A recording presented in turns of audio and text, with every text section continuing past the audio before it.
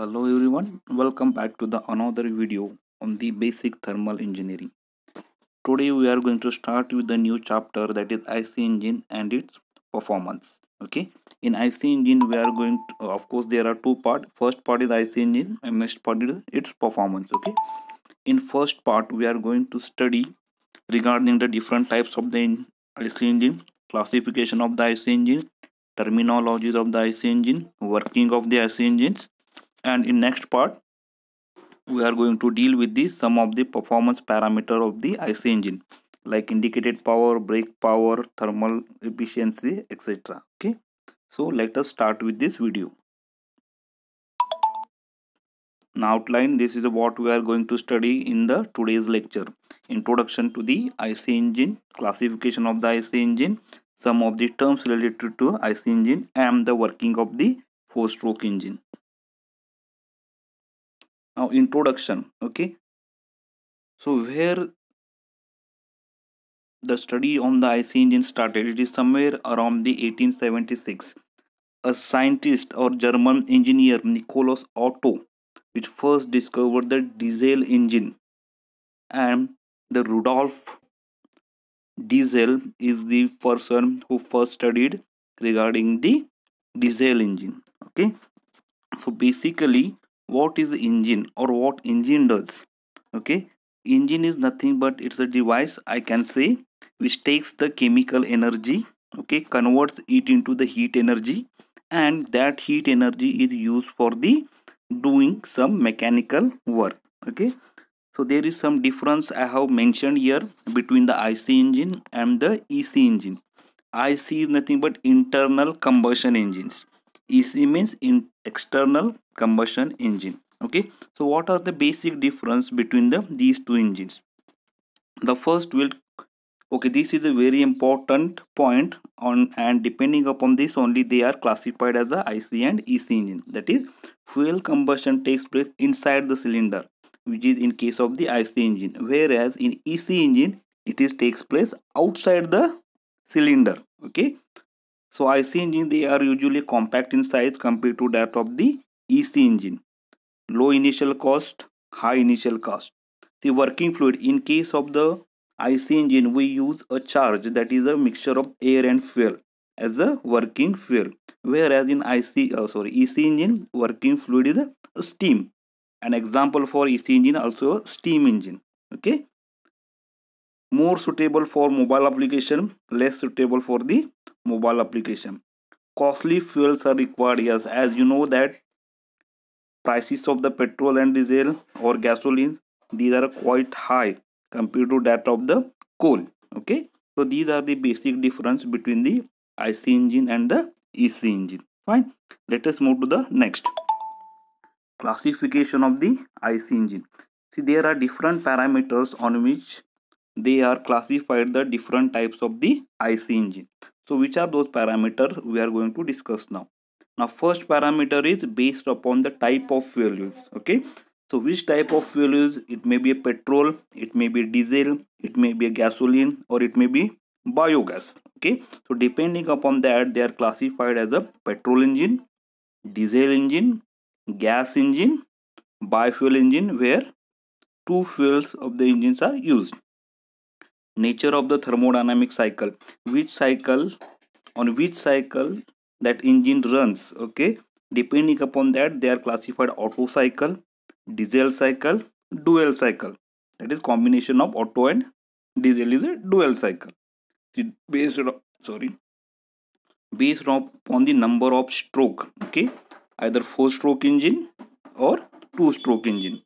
Method of ignition okay as you know that in order to to take place a combustion okay ignition is very important correct? So which type of ignition used in the engine depending upon that they are classified as a spark ignition where spark plug is used compression ignition engine where high pressure air is used method of cooling. It is either air cooled or it is a water cooled engine speed of the engine of course low speed medium speed high speed low speed you can say two wheelers medium speed four wheelers very high speed you can see the aeroplanes and all. Number of cylinders as of course single cylinder and the multi-cylinder engines. Position of the cylinder how the position uh, engine is placed depending upon that the inline engines when you place one after the other v engine in the form of v radial engine opposed cylinder engine and opposed piston engines. These are the some of the classification of the IC engine and it is a very important question from this unit. So once again go through it.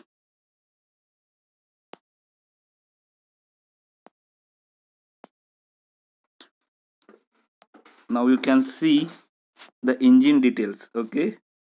So what are the parts of one typical engine okay? Either it is a petrol or diesel engine. The parts are shown here starting with the camshaft okay? Camshaft is the one which uh, operates the inlet on exhaust valve at the some proper time. Spark plug which is used for the producing the spark okay? Exhaust valve which is used to throw out the exhaust gases which are burned during the combustion. Cooling water of course is used to maintain the temperature piston which is we call as the heart of the engine which is reciprocating inside the cylinder. Crankcase connecting rod connecting rod is the a bridge between the piston and that of the crankshaft okay? Crankshaft is the part of the engine which converts the reciprocating motion of the piston into the rotary motion. And combustion chamber of course where the combustion takes place. Intake valve from where the charge is entered into the cylinder. Okay. So these are the some of the parts or basic parts of the uh, one typical engine.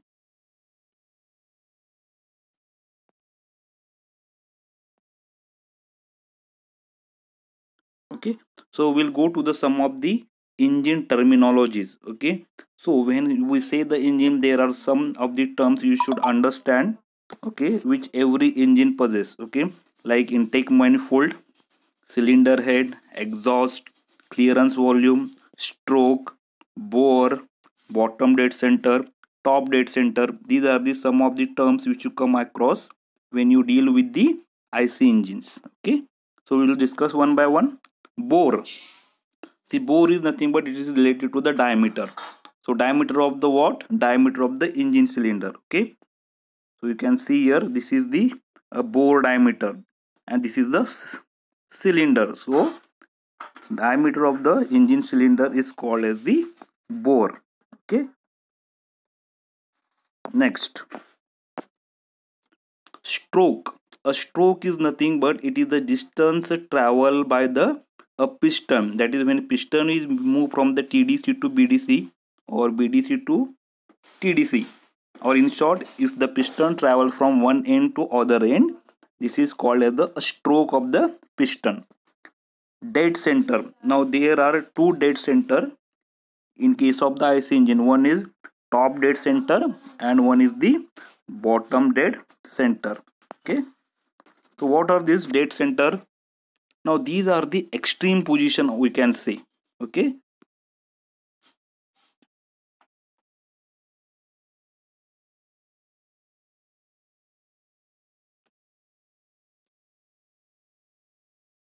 now when a piston is at extreme position at the top then we call it the top dead center.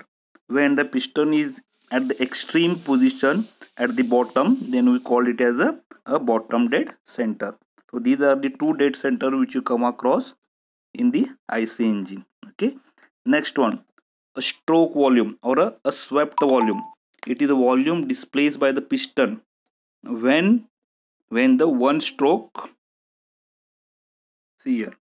What is the swept volume is volume swept by the piston. When piston is moved from the this point to the this point during the one stroke then we call it as a, a swept volume.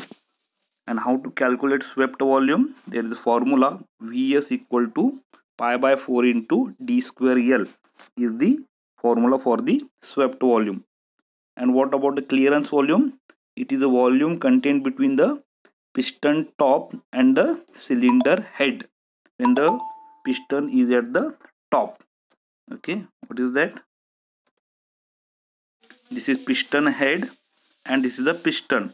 So volume between these two is called as the clearance volume. See this is a cylinder head and this is a piston. Okay so distance between these two or volume between these two we call as the clearance volume. Okay i hope it is clear. Compression ratio. Of course this is also very important. A compression ratio is what? It is a ratio of total cylinder volume. Now when we say a total cylinder volume mean it is the sum of the swept volume and the clearance volume. To the clearance volume. So it is a basically a ratio correct? So when i say a total volume it is the swept volume plus clearance volume you take the ratio of this it becomes the your compression ratio. And remember that it is denoted by a small letter r. In case of the petrol engine or sorry in case of the petrol engine the value of the r which ranges between 6 to 10 and for the diesel engine the value is quite higher. It is around the 14 to 20 okay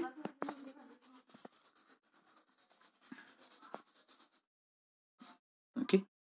Now we'll go to the uh, a four stroke engine or working of the uh, a four stroke engine. Okay. Remember that in case of the four stroke why we call it the four stroke because there is the four stroke which are going to takes place to complete the one complete cycle of the engine. So which are those strokes are? First one is suction stroke. Okay. Second one is compression stroke. Third one is power stroke. And fourth one is the exhaust stroke okay. So we discuss one by one. Okay. In first stroke what will happen is piston this is the piston. It will move from the top dead center to the bottom dead center. This is the position of the piston in the first case.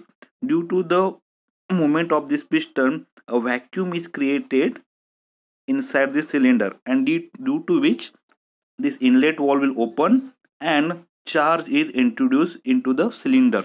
A charge is nothing but the a mixture of the air and fuel mixture. Fine. This is the first stroke. During the second stroke and remember that in first stroke inlet valve is open exhaust valve is closed.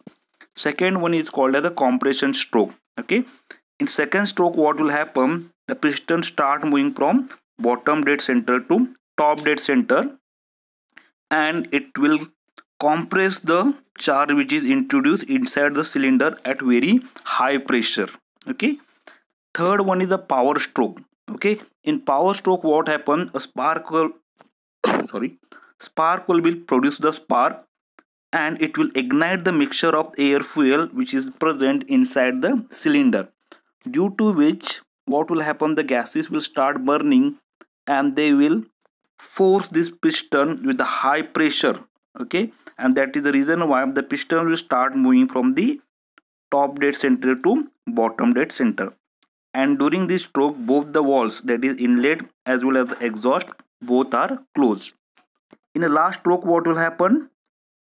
Piston will start moving from bottom dead center to top dead center. And whatever gases which are remaining inside the cylinder they are thrown out to the atmosphere from the exhaust valve and for the fourth stroke this valve is closed that is the intake valve is closed whereas exhaust valve is open and all gases will be thrown from this valve okay